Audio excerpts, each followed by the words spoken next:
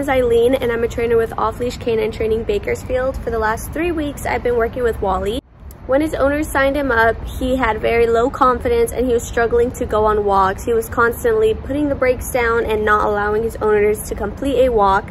He was also very uh, playful and very excitable around the kids in his family. So we made sure that we cleaned up on his manners and also showed him the basics of obedience and commands everywhere in public.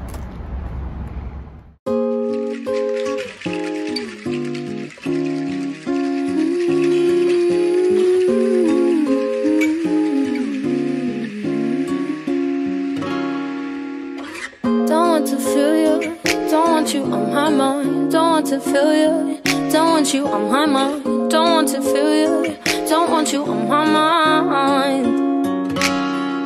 Why not? Would I leave if you were everything I wanted you to be? When I saw what you did, who you were with, got me questioning the things that I believe. So I ask myself, do I let you go or do I keep you in the frame of my mind? To your sugar-coated lies. Nothing sweet about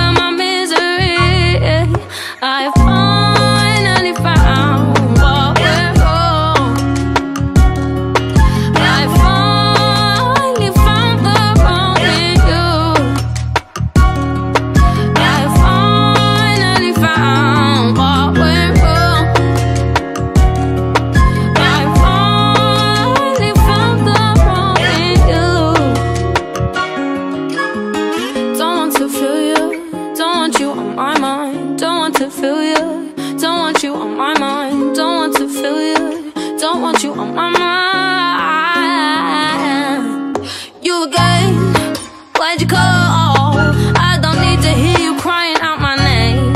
And like before, when you and I lay eye to eye, now it's time for you to taste the bitter end. So I ask myself, do I let you go or do I keep you in the frame of mind?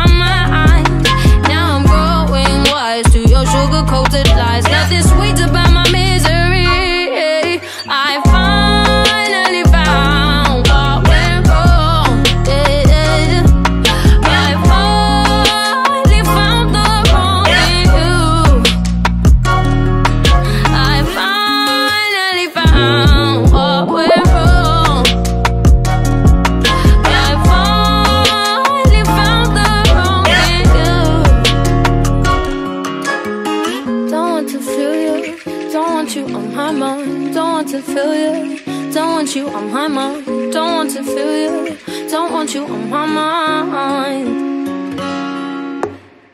Don't want to feel you, don't want you on my mind. Don't want to feel you, don't want you on my mind. Don't want to feel you, don't want you on my mind.